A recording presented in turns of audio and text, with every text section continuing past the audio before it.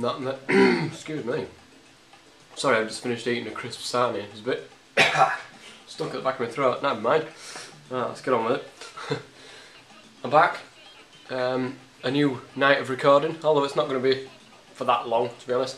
But we'll start with with a couple of signings. We've got Hellenius and we've got Bellomo now, um, both for 1,800 wages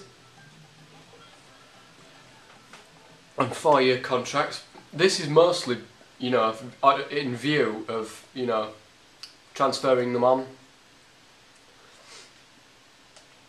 I'm not expecting them to still stick, you know, within my squad come next year. So I've signed a top player, it says, which is interesting. Maybe they do have. And as you can see there, Roberto Carlos interests Crawley Town. Crawley Town have announced their interest in signing Roberto Carlos. Roberto Carlos is the type of player we need, and I'm certainly interested in bringing him in, bringing, pardon me, bringing him in if the deal is right for the club, said the manager.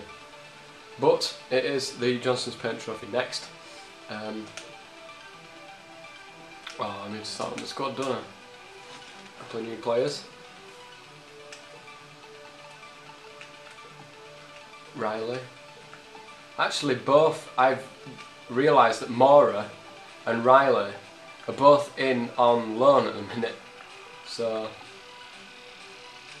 I don't know what I'm going to do there. Banana. Phil Carr, the new guy. Jorginho's the new guy. Bellomo. Oh, did I get? I got a new left back, didn't I? Just to tell you, yeah, but he's pretty, pretty fucked at the minute. So Days in. Hellenius, the new guy up front. And Barnett, it looks like. Hellenius and Barnett.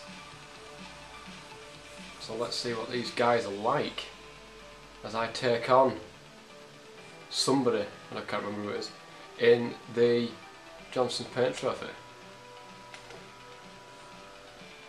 Let's see what happens with Roberto Carlos. I'd laugh my ass off. He was a free player. He's free. I don't have to pay for him, but his his wages was 30 grand. You know, I've offered him 15. So whether he takes it or not is purely up to him.